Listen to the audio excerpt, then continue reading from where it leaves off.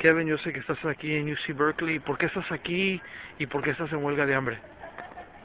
Yo estoy aquí ah, básicamente porque estoy, I believe in, in a change. I believe, in, you know, that maybe one day, maybe one day not, it's not to be perfect, but there, there will be changes, you know, a haber cambios aquí. Y pues, no, esto no es, no soy estudiante, pero yo quiero ir al colegio. Pero no, básicamente no puedo, pues, ahorita. Y muchos amigos no pueden. Y para las personas que están acá y tienen las clases propias,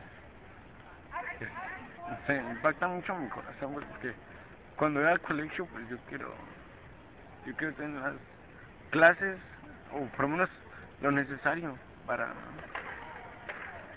básicamente para, para un, no sé, ¿tú me entiendes? Para Yo básicamente quiero estar aquí. Yo estoy acá. Estoy, estoy aquí haciendo huelga de hambre porque estoy apoyando a los estudiantes de UC Berkeley porque they believe in something y, y yo los apoyo. Their back. Y por eso estoy acá. ¿Y qué mensaje le mandas a todos los que están viendo esto?